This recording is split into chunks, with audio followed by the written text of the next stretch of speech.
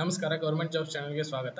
ನಾವು ಈ ಒಂದು ವಿಡಿಯೋದಲ್ಲಿ ರೂರಲ್ ಡೆವಲಪ್ಮೆಂಟ್ ಹಾಗೂ ಪಂಚಾಯತ್ ರಾಜ್ ಡಿಪಾರ್ಟ್ಮೆಂಟ್ನಲ್ಲಿ ಇರ್ತಕ್ಕಂಥ ಒಂದು ಖಾಲಿ ಹುದ್ದೆಗಳ ವಿವರವಾದ ಮಾಹಿತಿಯನ್ನು ನೀಡ್ತಾ ಇದ್ದೇವೆ. ಬನ್ನಿ, ಆ ಒಂದು ಹುದ್ದೆ ಯಾವುದಂತ ನೋಡೋಣ ಇಲ್ಲಿ.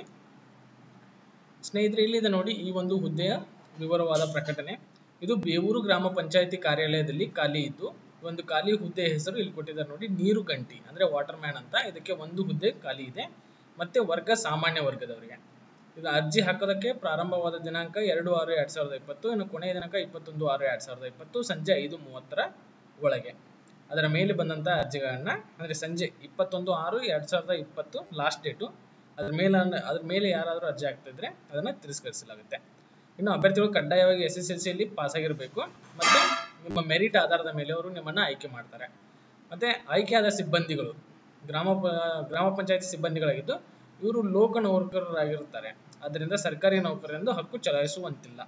ಮತ್ತೆ ಅರ್ಜಿ ಸಲ್ಲಿಸುವ ವಿದ್ಯಾರ್ಥಿಗಳು ಕನಿಷ್ಠ ಹದಿನೆಂಟು ವರ್ಷ, ಗರಿಷ್ಠ ಮೂವತ್ತೈದು ಸಾಮಾನ್ಯ ವರ್ಗದವರಿಗೆ ಮತ್ತೆ ಹಿಂದುಳಿದ ವರ್ಗದವರಿಗೆ ಮೂವತ್ತೆಂಟು. ಹಾಗೆ ಇವರಿಗೆ ಯಾವುದೇ ರೀತಿಯಾದಂಥ ಗ್ಯಾರಂಟಿ ಆದಂಥ ಜಾಬ್ ಇರಲ್ಲ ಇಲ್ಲಿ. ಇದೊಂದು ಪ್ರೈವೇಟ್ ಜಾಬ್ ಟೈಪ್ ಆಗಿ ಇರುತ್ತೆ. ಮತ್ತೆ ಅರ್ಜಿ ಜೊತೆ ದೃಢೀಕೃತ ಅಂಕಪಟ್ಟಿ, ಇತರೆ ಪ್ರಮಾಣ ಪತ್ರಗಳನ್ನು ನೀವು ಸಲ್ಲಿಸಬೇಕಾಗುತ್ತೆ ಇಲ್ಲಿ. ಇದಿಷ್ಟೆಲ್ಲ ಈ ಒಂದು ನೋಟಿಫಿಕೇಶನ್ ಅಲ್ಲಿ ಕೊಟ್ಟಿದ್ದಾರೆ. ತಾವು ಇದನ್ನ ನೋಡ್ಕೊಳ್ಳಿ, ನೋಡ್ಕೊಂಡ್ಬಿಟ್ಟು ಹಾಕಿ. ಹಾಗೆ ಇಲ್ಲಿ ಫೀಸನ್ನು ಕೊಟ್ಟಿದ್ದಾರೆ. ಫೀಸ್ ಯಾವ ರೀತಿ ಅಂತಂದ್ರೆ ಮೂರ್ನೂರು ರೂಪಾಯಿ ಸಾಮಾನ್ಯ ವರ್ಗದವರಿಗೆ ಎರಡ್ ನೂರು ರೂಪಾಯಿ ಒಂದು ಹಿಂದುಳಿದ ವರ್ಗದವರಿಗೆ ಕೊಟ್ಟಿದ್ದಾರೆ. ಹಾಗೆ ಇಲ್ಲಿ ಸ್ಥಳೀಯರು ಯಾರಿರ್ತಾರೆ? ಬೇವೂರಿನವರೇ ಆದಂತವರಿಗೆ ಒಂದು ಪ್ರಮುಖ ಆದ್ಯತೆಯನ್ನ ನೀಡಲಾಗುತ್ತೆ ಅಂತ ಇಲ್ಲಿ ಹೇಳಿದ್ದಾರೆ.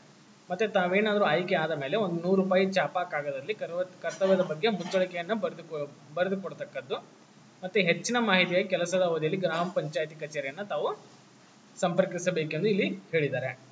ಬೇವೂರಿನವರು ಯಾರಾದರೂ ಇದ್ರೆ ರಾಮನಗರ ಜಿಲ್ಲೆ ಚನ್ನಪಟ್ಟಣ ತಾಲೂಕು, ಮಳೂರು, ಹೋಬಳಿ, ಈ ಬೇಲೂರು, ಬೇವೂರಿಗೆ ಸಂಬಂಧಪಟ್ಟದ್ದು. ಬೇವೂರಿನವರು ಯಾರಾದರೂ ಇದ್ರೆ ಈ ಒಂದು ರೀತಿಯಾದಂಥ ಜಾಬ್ ಅನ್ನು ನೋಡ್ತಾ ಇದ್ರೆ ಅವರು ಇದನ್ನು ನೋಡ್ಬೋದು.